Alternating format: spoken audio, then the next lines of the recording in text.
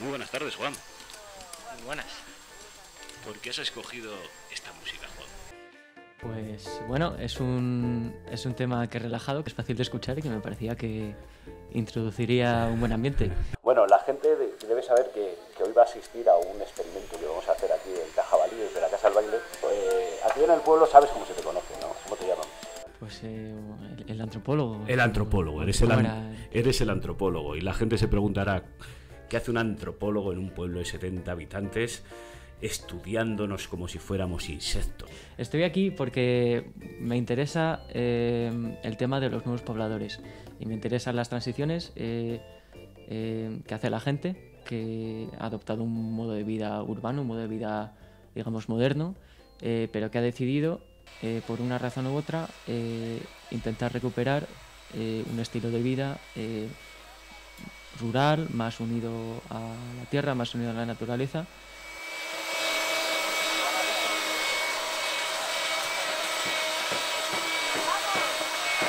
Hay una cosa que estamos abordando en estas entrevistas de Cabra Construye, es Sí. otra manera de construir que no tiene nada que ver con, con contratar un albañil y pagarle Sí. y a un constructor y pagar para eso, ¿no? Sí. Pues yo, bueno, yo me he sentido como en un campamento de verano. Realmente, pues somos personas de trasfondos muy diversos que, que de alguna manera u otra, pues em- eh, resulta que estábamos aquí cuando se empezó a, a construir esto y la verdad, pues que es un proceso bastante empoderante. Yo no tenía ni idea de construcción y nada, pues ayer he estado montando una pared y preparando sí, los bloques de una pared y, y quiero decir, he podido estar siguiendo todo el proceso desde muy cerca y lo comprendo y tengo una idea de cómo funciona y de hecho, bueno, igual si tengo otra experiencia parecida, eh, yo creo que me sentiría lo suficientemente seguro de mí mismo como para dirigir una obra yo mismo. ¿Tienes atornillador? No tengo atornillador. Lo sujeto, vosotros atornilláis. Eh, como está organizado, no hay, un, no hay un director de obra, hay un facilitador, que es el que tiene más o menos el plan y el que, bueno, sienta, sienta las direcciones generales, pero luego nos organizamos todos un poco. Cuidado, cuidado. Bueno, eh, mis retos es crear grupo. Sobre todo que de esta gente que, ha vivido esta experiencia, pues se le ocurra eh, el llevar más proyectos adelante. ¿no? Y yo ya se lo dije que yo voy a intentar sostener eso y ayudarles y asesorarles en su proceso, pero que me gustaría que hubiera más personas como yo moviendo grupos y moviendo proyectos y, que esta cosa se expanda y que, que permita a más gente el vivir esta experiencia. ¿no? Y como hace Tom, pues igual yo aquí en España, intentando ayudar y, y facilitando esas nuevas creaciones. ¿no? Es en el proceso en el que estamos. Ahora mismo hay, hay otro grupo en, en la zona de Aragón, Zaragoza, que está llevando la misma filosofía de compartir eh, el proyecto con, con otra gente. ¿no? ¿Cómo va por ahí? Sí, va bien. Habría que empujarle un poquito de aquí para acá. Meterle rodillita ahí en el medio.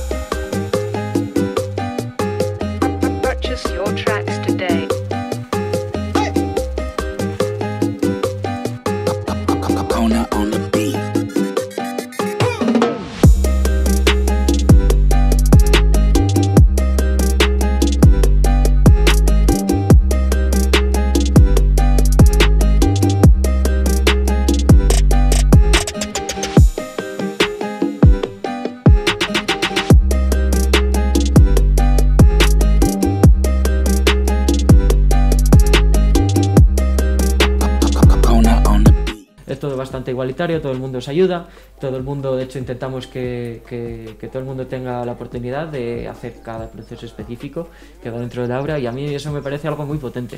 Eh, bueno, sí, porque estás dando a la gente las herramientas para poder construir su propia vivienda, que es un aspecto de la soberanía bastante importante.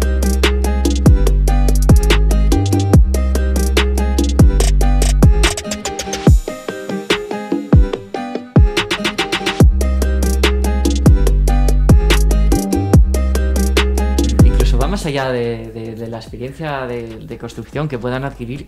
Esto es un, esto es un encuentro entre personas. Yo he visto eh, enfrente de mis ojos eh, gente, pues tejer contactos, tejer nuevas relaciones, tejer redes eh, y que, bueno, que sirvan para dar lugar a más construcciones, a más proyectos, sí, a, más transiciones, a más maneras de vivir.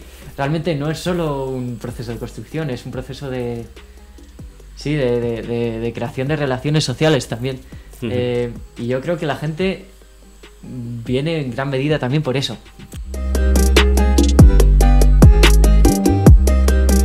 Bueno, pues yo soy Quesali y vengo de, una, de Salamanca. Yo trabajaba en la hostelería en Mallorca mejor, pero he estado trabajando de junio a septiembre, de 10 de la mañana a 5 de la tarde, volver a las 7 y salir a las 3 de la mañana, eso sin ningún descanso. Entonces era pim pam, no sabías ni qué día estabas, o sea, y dije, no, yo no quiero más esto, ni a cambio de dinero. O sea, cualquier cosa que es a cambio de dinero no la quiero. Sí, sí, sí, sí, sí. Yo decidí con 49 años que no iba a colaborar más con la con el sistema este de trabajo, de horas, de te- espero tener 15 días de vacaciones para disfrutar, aunque yo he vivido bastante bien, que eran seis meses que me iba, ¿no? Pero no, decidí que no, que no quería más esto. ¿Qué te llevas? Esa es, enorme, ¿no? Eh, me llevo me emoción y todo. Me llevo unos seres que hemos coincidido aquí maravillosos, que el universo se las ingenia para montárselo y creo que la disculpa es hacer una casa.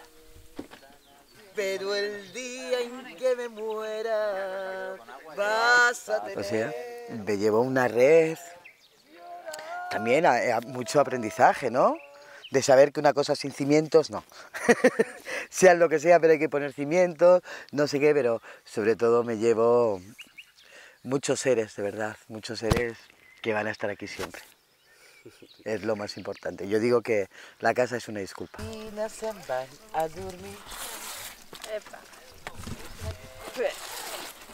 Masa madre. Madre, madre, qué maso, madre, qué. Lo bonito de, este, de, de esta historia es que, claro, tú te lo llevas al flexágono porque es tu vida, al flexágono, pero es que este método se podía traspapolar a cualquier otro tipo de, de construcción, bioconstrucción, o sea, Claro. la construcción colectiva con gente mediante voluntariado y creando red, ¿no? Y que sea recíproco, voy a tu casa, mañana vienes a la mía, un poco funciona así, es salvaje, ¿no? Para mí Sí. esto es lo más revolucionario, Sí, sí. todo lo que estáis haciendo aquí. Sí, pero por algún lado hay que empezar. O sea, lo que la gente al final hay demasiada información en esto en este tiempo, ¿no? Entonces la gente se pierde en opciones. O sea, hay mucha gente que me dice, "No, yo de- para mi casa quiero un domo." Pues bueno, yo no creo que sea la mejor opción para una vivienda, ¿sabes? Es muy difícil de cubrir, es, es muy técnico, eh, necesita mucha superficie de cubierta.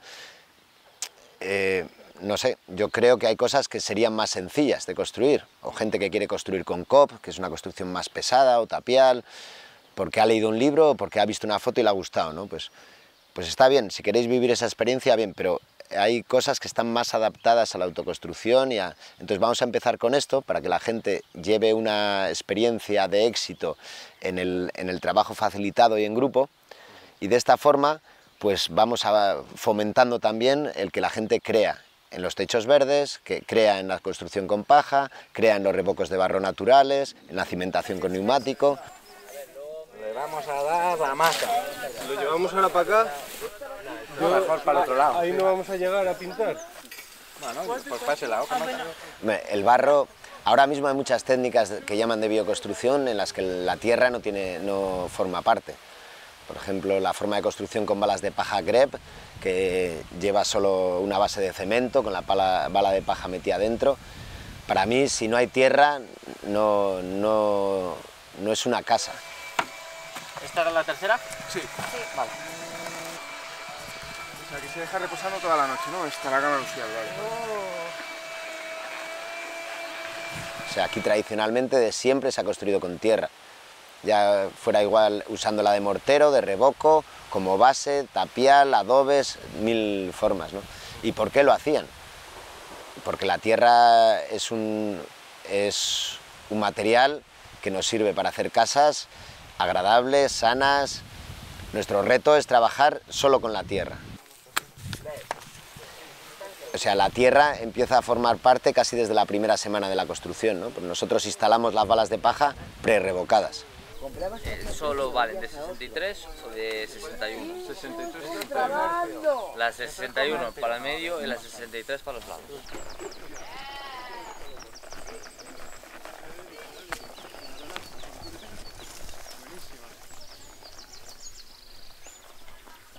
¡Arriquitao!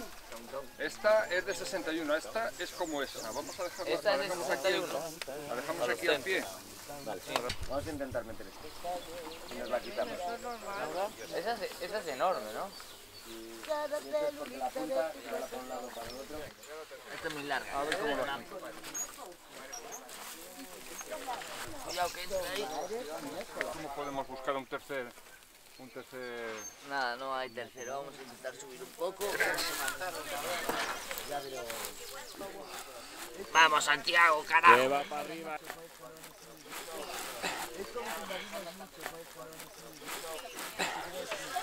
Con un par de pelotas. Estamos, que estamos. Y está ya. Bueno, a ver. Una, dos, arriba. Vale, mozo. Necesitas un peso pesado, me llamas. Bastante bien. Venga.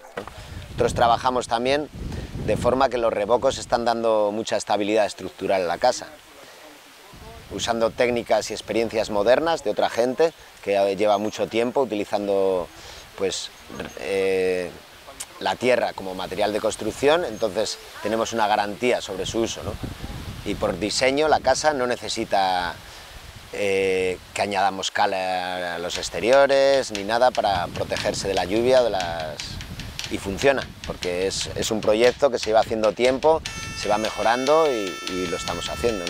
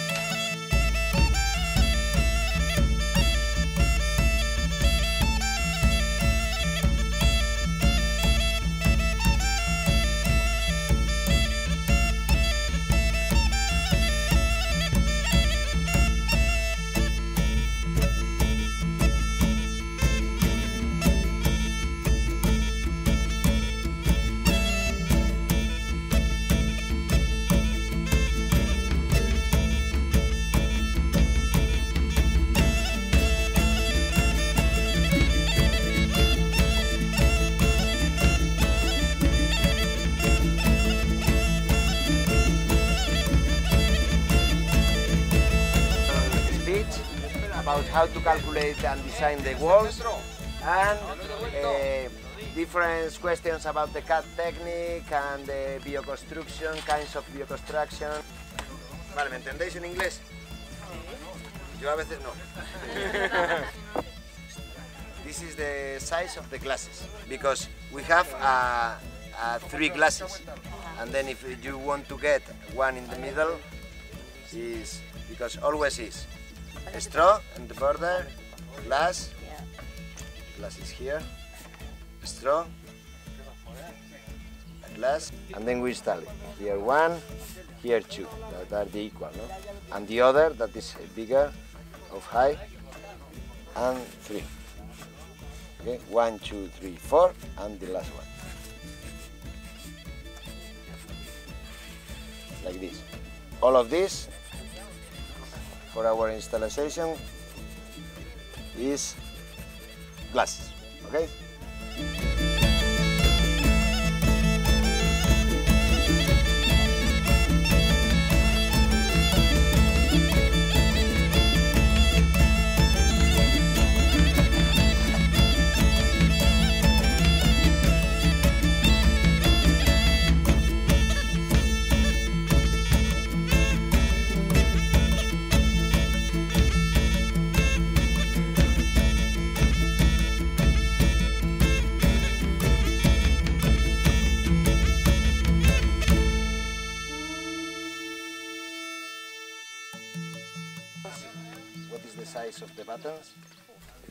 Parto de que el mundo está organizado de una manera que no es justa y que no conduce a la, al bienestar y a la felicidad de todos sus miembros y que por tanto pues que tiene que haber bueno digamos que es nuestra responsabilidad como agentes el, el, el, el ocasionar un cambio o un movimiento hacia ese cambio. Perdí un poco la confianza en la política tradicional.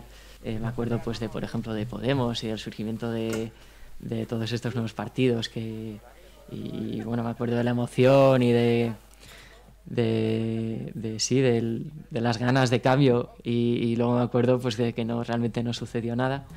Eh, y de que, bueno, que había mucha política simbólica y, de, representación que realmente no llevaba a ningún cambio efectivo.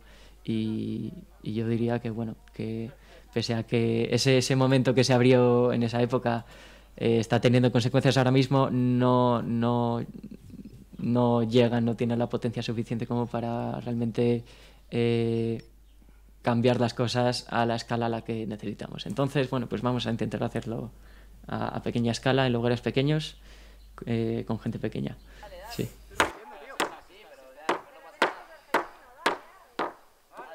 Para mí es muy importante y en esta filosofía de, de la autoconstrucción es la reciprocidad. Y si alguien no siente que, que el- que lo que está haciendo aquí es recíproco, o sea, que está dando lo mismo que está recibiendo, pues algo está yendo mal. ¿no? De momento los grupos, bueno, tú los has visto, siempre salen con esa sensación, intentamos hacer una evaluación al final de, de, de qué cosas se pueden mejorar, pues nosotros queremos mejorar en esto, ¿no? También. Y eso, en algunos casos, pues que, que no había un alojamiento adecuado, pues mira, te hemos dado lo que hemos podido, ¿sabes? En otros casos, pues eh, hay un alojamiento que es más que adecuado, ¿no? Eh, que igual pueden tener más comodidades que en su propia casa, ¿sabes? Como aquí, por ejemplo, la casa al baile, que por eso no se iban.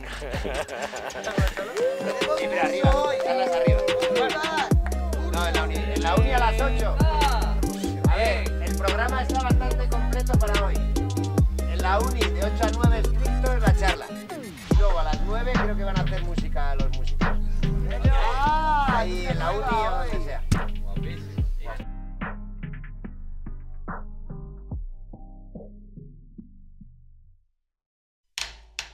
Sobre todo porque esta ya es mi tercer flexágono, ¿no? Y, Tercer flexágono, ya llevas Sí. tres flexágonos. sí.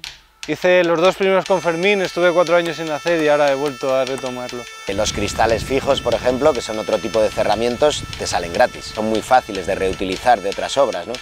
Y normalmente puedes adaptar la casa al tamaño de los cristales que tienes.